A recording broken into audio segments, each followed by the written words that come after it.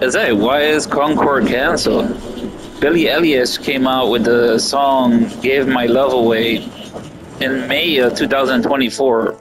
I know it sounds like it came out in 2020, but it actually came out in 2024. And you know, Concord is canceled, and I'm like, damn, that sucks because I'm just bored and haven't been paid yet. And like uh, Dragon's Dogma 2 said, I haven't even been escorted yet.